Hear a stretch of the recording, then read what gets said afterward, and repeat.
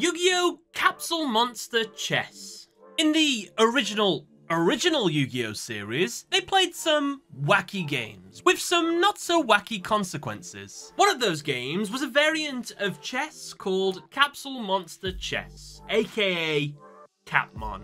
The idea behind the game is that, just like in chess, you have a game board, you have a set number of pieces, you can move in unique ways, and in order to defeat your opponent, you must defeat their pieces. And honestly, that is where the chess comparisons end. We see this game mode debut in the anime during Yu-Gi-Oh! Season Zero's 11th episode, titled The Rumored Capmon's New Appearance. The episode begins with a character called Warashibe. He gifts a present to one of Yugi's friends, Miho. He does this as he wants to win her heart, since he believes they are fated to be together. And so he sends her a gacha box full of capsule monsters. A nice gesture on the surface. However, it is revealed that this guy is a bit of a creeper. You see, the main reason he wants Miho is because he believes that she is the capsule monster goddess, and he wants to encase her in a capsule to complete his capsule monster collection.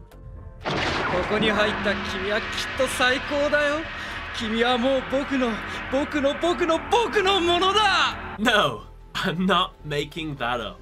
Anyway, he challenges Miho to a Capmon duel. They both take turns drawing random capsules from the Gacha machine to build their opening field. However, Miho's pulls are all revealed to be incredibly bad low levels, while all of Warashibe's are perfect high level pulls. Obviously, shenanigans are afoot, but without any proof, they have to continue the duel. Miho plays to the best of her abilities. However, it doesn't end well, and after she loses her temper and knocks Yugi, it is revealed that the gacha machine was in fact rigged. And so, Yami Yugi takes over and plunges the duel into a penalty game. And this is where things get spicy. Yugi says, we don't need to restart the duel. I'll play with the monsters I have right now with where Miho left all of the monsters as well, and I guarantee you, I'll still beat you. Can Yugi really get out of this dire situation in such a disadvantageous position? Of course he can. Yugi strategically sacrifices all but one of his pieces in order to create a one-turn kill by using his Torrigan monster, who, despite being a low rank and having terrible close-range attack power, has the unique ability to once per duel attack all monsters in a diagonal pattern. And so, with this play, Yami Yugi obliterates Warashibe's monsters and wins the duel. As punishment, Yami Yugi seals him inside of a capsule instead. 12 episodes later, we would get a second and the last ever episode to feature Capsule Monster Chess in this season. This time, it was a duel between Yami Yugi and Mokuba, who yet again cheated in the exact same way as Warashibe. This time, however, Yami Yugi was able to overcome the stacked odds by evolving one of his low-level monsters to the max level, by getting it to an evolution square. Now, technically Capsule Monsters would appear one more time in the Yu-Gi-Oh! Duel Monsters spin-off series, Yu-Gi-Oh! Capsule Monsters. The physical game, which would be made into a real-world game, could be seen in the first episode. This would become Yu-Gi-Oh! Capsule Monsters, the collectible figure game.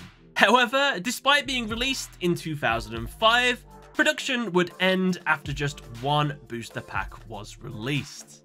People just did not buy enough of this thing for them to warrant any more production, which is a shame, because when I go over the rules review of this game, I actually think it's kind of cool and had some avenues to be expanded upon, which have been kind of cool. So, without further ado, I would like to invite you all to the true rules of the Yu-Gi-Oh! Capsule Monsters collectible figure game rules. Let's go. The game is played on a 6x6 game board, with both sides of the field having a starting area. In the anime, the game board is actually a little bit bigger. It's 8x8. The reason for this is because it closer resembles a chessboard, which is 8x8. In the anime, boards come in a variety of forms. However, in the real world one, we only got one board, which is a shame. Because I think if this game lasted longer, you would have had a whole variety of different boards, obstacles, and things like that to plan your attacks around. In the anime, each player randomly pulls five capsules from a gacha machine to build their starting field. While I imagine you could have absolutely done this in the real world as well, at like events and stuff, if we're being honest, in the real world, all you have to do is just take the capsule monsters that you have, choose five of those, and those are the ones that you play with. Monsters are concealed from the opponent inside capsules until a player reveals them. This is also true in the anime. However, the difference is you know what the monster's levels are, even if they're sealed inside of their capsules. To win the game, you must reduce the opponent's king piece's hit points to zero. In the anime, there are no king pieces. Instead, you have to wipe out their entire field. A capsule monster game can be played with basic or advanced rules. Basic rules are just for like beginners and kids. You make the youngest person get to go first, the older person goes second. You have specific monsters that you give the younger player and you get a specific team as well. So it's all kind of like made to be easier for a younger player to get used to the game. Advanced is just the full rules, which we're going to be doing right now. You begin by choosing a king piece and then assembling your monsters. You cannot have more than seven monsters on your team. However, you can have as many copies of any monster on your team as you like. It's really interesting seeing a game that could have had the potential of taking off but never did. So you can see how unfuture-proof it was. But I imagine if this game would have took off, you would have had monsters limited because I'm sure something would have been broken, a broken strategy would have been found, you can only have one of this monster now, that monster's banned. I'm sure it would have happened eventually. In fact, keep that in mind throughout the rest of these rules. Some of these rules I imagine if the game had been allowed to sit for a while, would have been changed. Level 2 monsters on your team must be the same faction as your king. Note that all capsules are identical, except for the sticker on the fronts with a symbol that identifies the capsule's faction. There are six different factions. Dark, Earth, Fire, Wood, Light, Thunder, Water, and Wind. For example, here, Summon Skull. It's a level 2, so it would have to meet the faction of the king.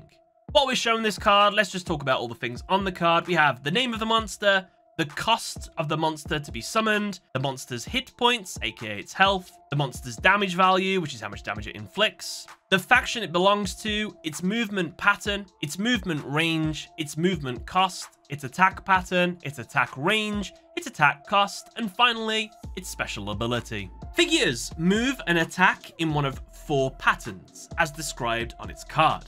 These patterns are plus type. This type can move and attack straight forward, back, left, or right, up to the limit of its movement and attack range. Note, monsters cannot move or attack through opponents' monsters. They have to have a special ability to do that. However, you can move and attack through your monsters. X-type. This type can move and attack diagonally up to the limit of its movement and attack range. O-type. This type can move and attack the second space in any direction from the space that it occupies. This attack pattern is unique as it makes the monster capable of leaping over squares. Meaning if there's a monster there, you're just basically jumping over the monster, whereas other things sort of go through them so they can't go past them. This one jumps over. Star type. Only the king has this type of movement pattern. Basically, they can move one space in any direction, just like a real king in chess. However, the big difference is kings in capsule monsters can't attack. Some monsters have special abilities. These abilities will override the normal rules of gameplay. At the start of a turn, you get a number of action points listed on your king card. You can spend action points on your turn to do the following. Summon a monster, move a monster that has not yet moved, attack with a monster that has not yet attacked, activate a special ability that has not yet been activated. The monster cards reveal the cost for these actions. You may do as many actions as possible within your action point budget and you can do them in any order you see fit. Summon a monster, move a monster, attack, or attack, summon a monster, move a monster, then move another monster, then use a special ability. If it's in your budget, just do whatever you want whenever you want, basically. However, note, it's advisable to use as many action points as you can in your turn, because action points don't carry over into the next turn. The act of summoning monster is releasing them from their capsule. This is when they properly enter the game. When moving a monster, it must move in accordance with its movement type. How far that monster can move is dependent on its movement range. You can only attack opposing monsters that sit within your monster's attack zone pattern and range. Important to note, the space your monster occupies, that doesn't count as a space to move, so it's the next one, so one rather than one, two. Do you know what I mean? Also, because you can't go through monsters, means you can't put a monster on a zone that an enemy monster or one of your monsters is already occupying. So you have to put it in the space in front to meet its attack range. Or if you've got a decent attack range, you can put it a little bit further away. Monsters cannot block attacks. When attacked, put a number of damage markers equal to the monster's damage value on the attacked card. If the total damage exceeds the monster's hit points, the monster is destroyed and removed from the field. The same applies if the king is attacked. When a monster is destroyed, damage is dealt also to that player's king, equal to the cost of the defeated monster. For example, a defeated summoned skull, the owner of that summoned skull's king would then take 4 damage. Monsters still within their capsules can still be attacked. A capsule only has 2 hit points. But then what happens to the monster inside if the capsule is destroyed? Well, it's destroyed, and damage is still dealt to the king as if it was destroyed regularly. When activating a special ability, you pay the ability cost, and then follow the rules on the card. For example, let's use Mystical Elf. At the cost of one action point, you can remove one damage counter from each of your monsters within Mystical Elf's attack zone. However, by doing this, she cannot attack this turn. So that's an example of an activatable effect. Some monsters have continuous effects. For example, Blue Eyes White Dragon. It has the continuous effect flying, which means it can fly over opposing monsters that block its path when it moves. Or how about Summon Skull, who upon summon moves instantly two spaces straight ahead. With that, that is the origins and all of the rules of Yu-Gi-Oh! Capsule Monster Figure Game. If you would like to see the rules of two other weird spin-off games, we've got Dungeon Dice Monsters and we've also got Duel Monster Quest. I'll leave links here and some links pinned in the description. But other than that, thank you for watching.